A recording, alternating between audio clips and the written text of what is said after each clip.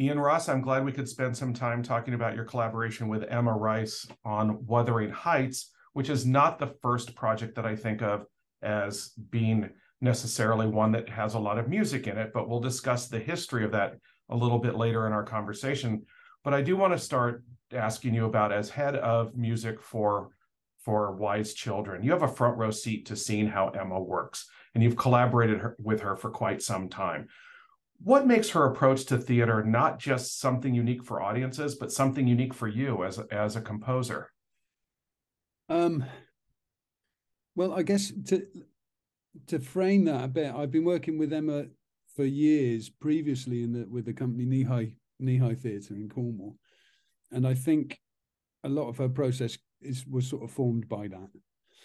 Um, and I haven't worked much outside of Knee or with Emma uh, to have much of a comparison, but I think from what I gather from other people's sort of um, uh, experiences is that there's there's a freedom in the room. There's a generosity. Emma, Emma creates a space of um, anything's possible, where mistakes are welcomed, um, in fact encouraged, and um, generosity is sort of at the heart of the whole process.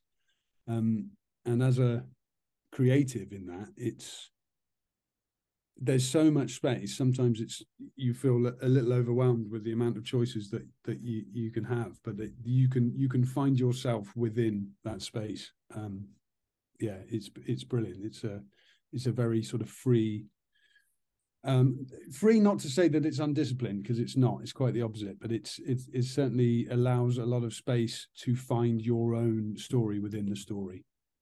Well it's interesting because i was listening to Soundclash that the two of you had recorded and it became very clear in listening to that that there is this generosity of spirit that the two of you share and that you seem to have you know a pretty open collaboration where you can bring you know whatever you want to the equation and she brings what she wants and somehow it seems like you guys end up on the same page rather effortlessly is that an accurate description I, I think so. I think we do share similar tastes and sim, similar sort of um, emotional approaches to things.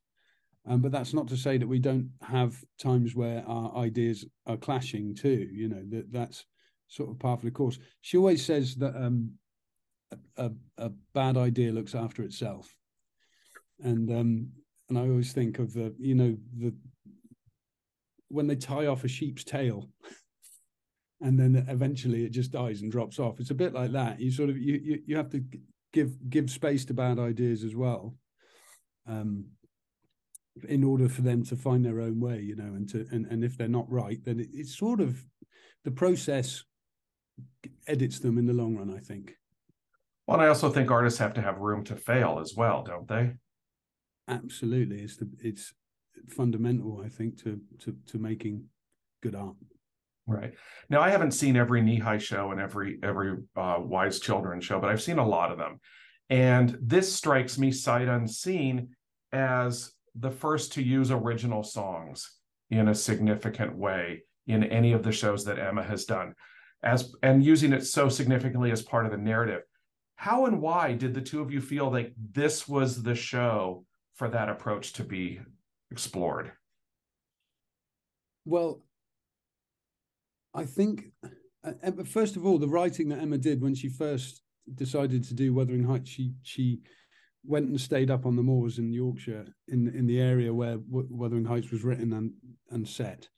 Um, and she wrote a lot of poetry. She read she read the book, but she also just wrote um, lots of of sort of broad poetic ideas for things.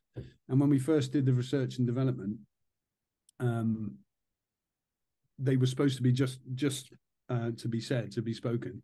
But I have I try to put everything to music if I can. I'm always trying to turn something into a song, um, just because it's it's a joy. It's it's the best feeling to have a page of lyrics and and a blank canvas like that. Um, so it just felt like the the poetry thing for her, I think, was relatively new. That she was bringing her own writing into things a bit more, you know, rather than just adapting things, um, and becoming more confident as a as a lyricist, but not quite knowing it. I think.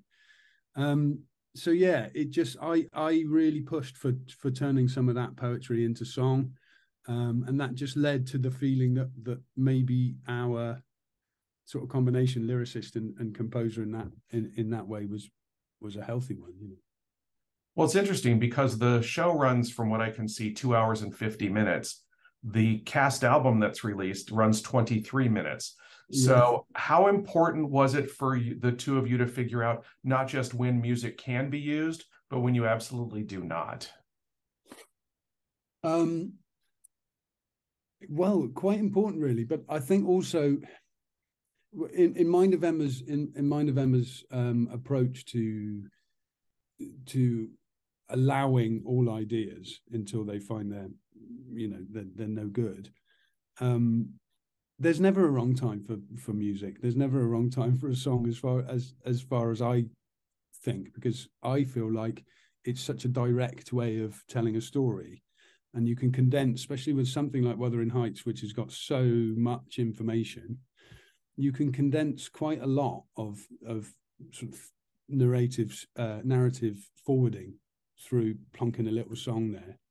Um, and yeah, I guess I don't think we really came upon a moment where we thought this was definitely not working. Uh, we always just tried, and most of the time it felt like it was it was serving a purpose. Right. Well, I guess a lot of uh, people who who um, create original musicals say this is the point where words won't work any longer, and they have to express themselves in song. Was that a similar thought process here?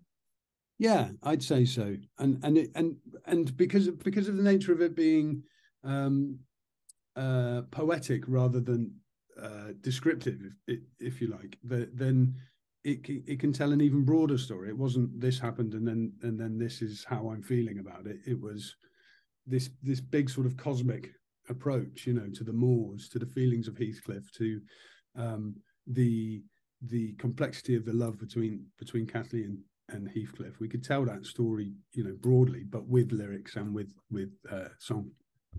And I have to say, I find it very interesting that that Emma chose to write poetry when Emily Bronte was known for her poetry. Right. I mean, it's a pretty bold move, isn't it? Yeah, for sure. Um, um yeah, but I think what was what was great about that was because we used one of Emily uh, Bronte's poems and set to music, the Bluebell, um, so she was she was keen to to get that in there as well, you know, as a as a a nod.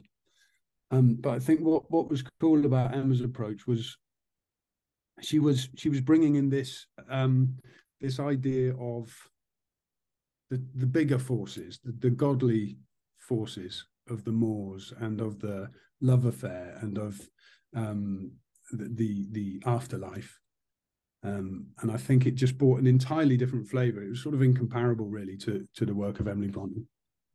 But did Emily Bronte's novel inspire you on any level, or were you working strictly off of what Emma had had decided to do? Yes, I I I, I read it. I only read it once, and um, uh, uh, in parts of it found it hard going. I think some of the the the language and the and the dialect stuff is um, almost impenetrable. Um, but I think what's really inspiring about it is the is the setting and the feeling of the moor, and also because we went and stayed up there as well for for a few days. Having that, um, visiting the area where the Brontes were, understanding more about the history of the of the um, area and their family sort of connection to it. I think that was more um, inspiring for me than the novel itself. Um, yeah. How do you, as an artist, take the environment in which something is set as inspiration for the work that you do? Um, good question.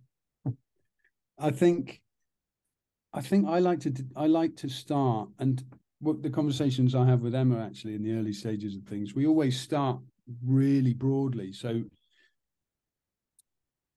there's the things connected to the to the story, but what's really informative for me is is going going into that place and feeling the dampness, feeling the the weather was just such a thing. The way that things that clouds can come over very quickly and then pass, and everything's illuminated, and then a storm rolls in, and then it's snowing, um, and it's so turbulent and so reflective, isn't it, of the, of the relationships in the novel? And I think uh, immediately I feel that there's an epicness to the story and to the setting which um, is a, is appealing for the stage, but also as a composer because you can just do big, grand, um, sort of gestural work um, and pick the right moments for it, and then just bring it back. So really, it was the dynamic. It was like the dynamic of those those juxtapositions um, that that I used. Because I haven't seen Wuthering Heights yet. Um, and I've only listened to the cast album, it strikes me that a lot of the music seems to be almost like a Greek chorus, um, mm-hmm. backing up the main drama.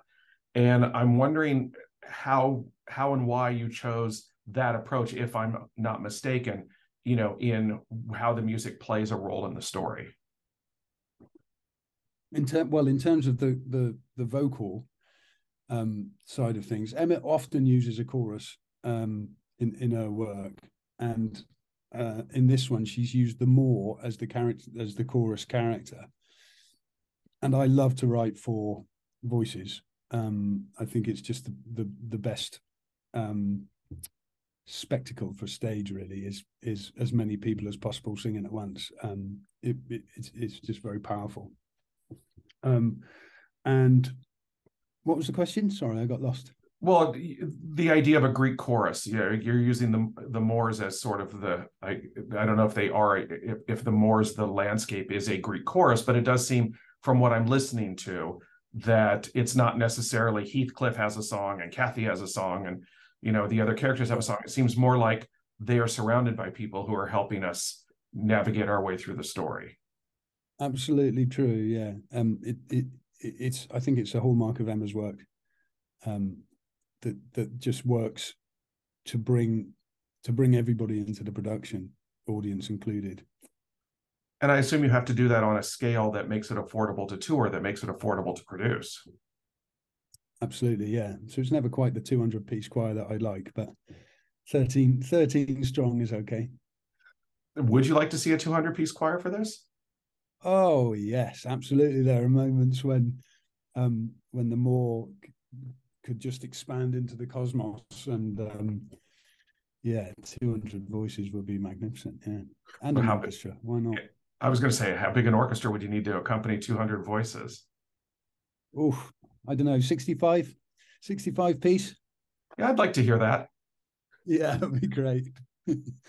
Class differences are an important part of this of this story. Did that influence the way you approach the music?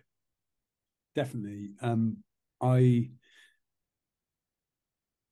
I I feel like that's the, the the folk the folk element of the story is constantly at at play against the uh, sort of the civilized society and i try i really wanted to feel a sense of the um like the baroque in the music but I, I, but also the sensibility of English folk, some really simple, um, sort of plain harmony um, work.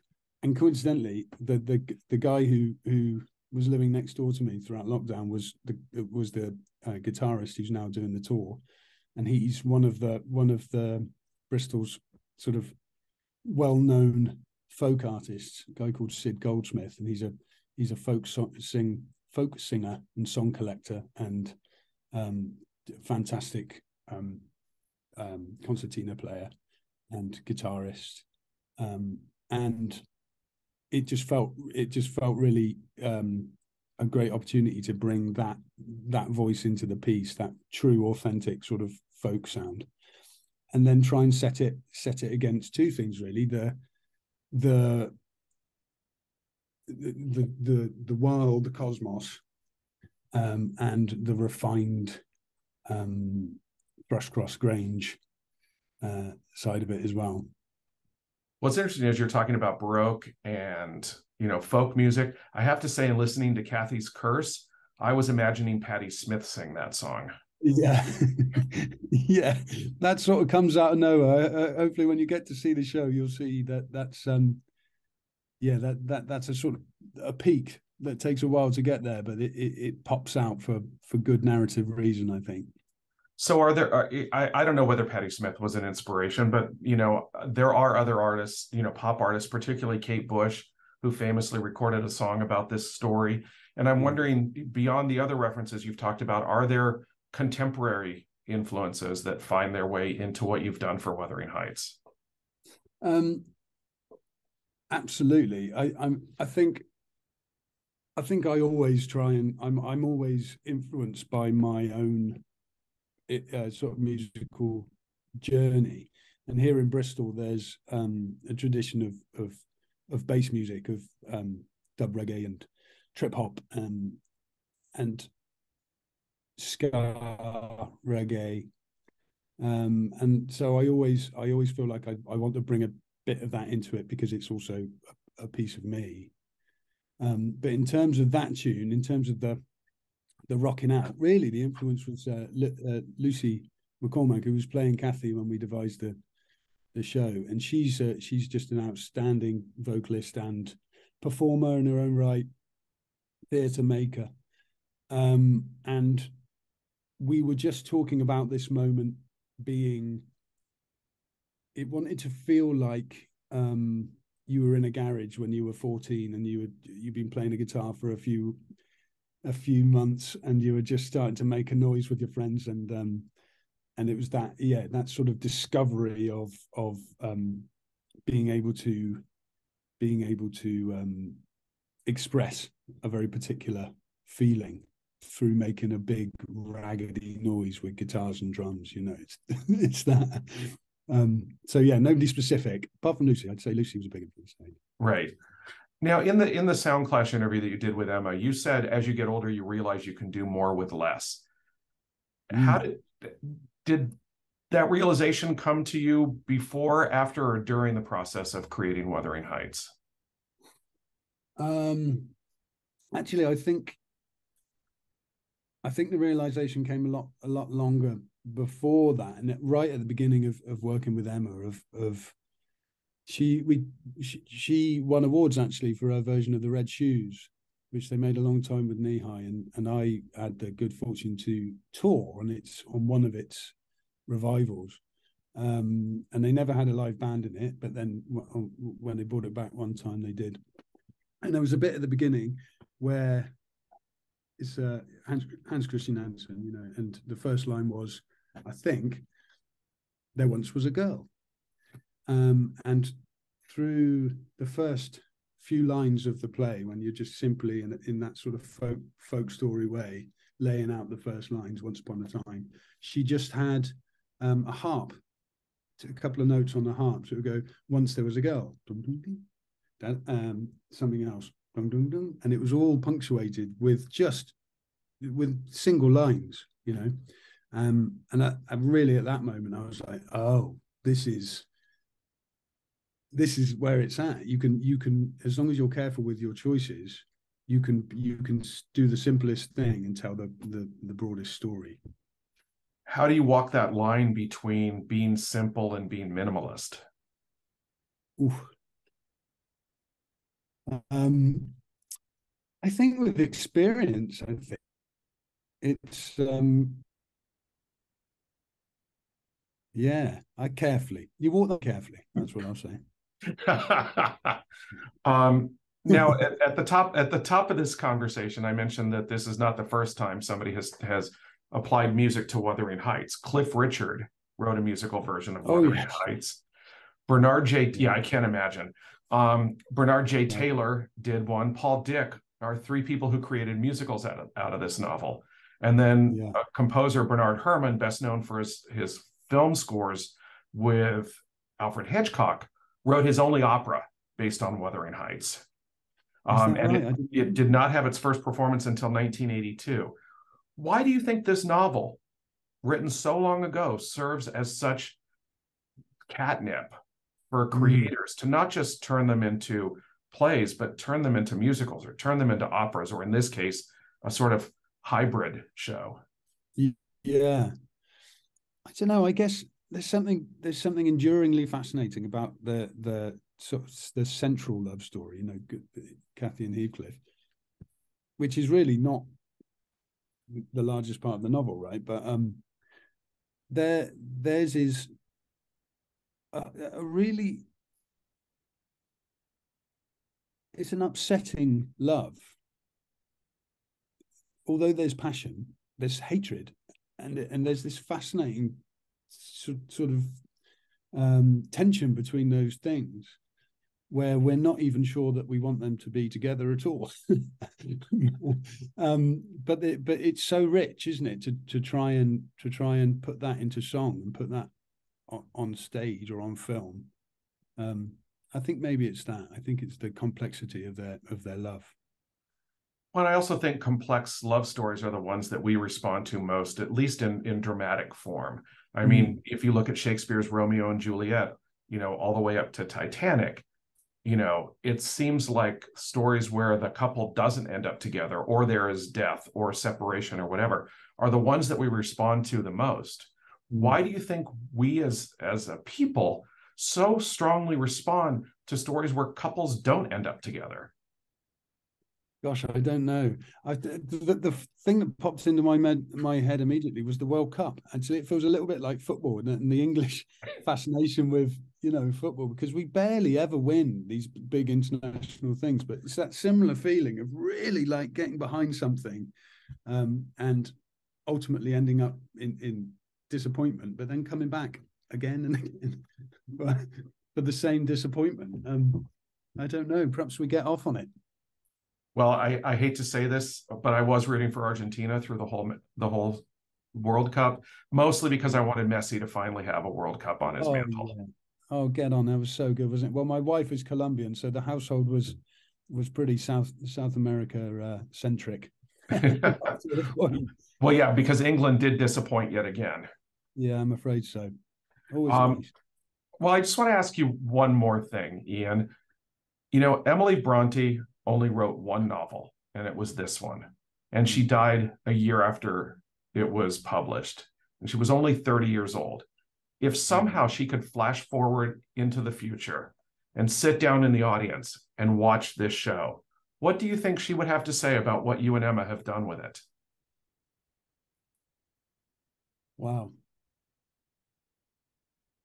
Gosh, it's different, isn't it? What what I think she'd think and what she actually might think. But um I think it's a real. I think we we we love it, and I think that's clear. I think we care a lot about it, and I think we've poured a great deal of ourselves into it, which I think she did too, right? And I think that the the, the life that she led and the things she endured in order to be able to to to be this historic figure, um, I think we've I think we've paid tribute to it and I think she'd enjoy it, and I think she'd probably be pretty baffled by a bunch of it too, um, and maybe a little shocked at some of the language and and and some of the things. But yeah, I think overall she'd she'd give it a thumbs up. Well, I, I certainly hope so, and I very much look forward to seeing Wuthering Heights uh, when it finally makes its way to Beverly Hills. Um, so thank you for your time. Are you all right with my posting this interview on our YouTube channel? Of course, yes. Please share. Terrific. I will do. Thank you so much, Ian, and, and have a good evening. Thank you. Nice to meet you. Likewise. Bye-bye. Bye.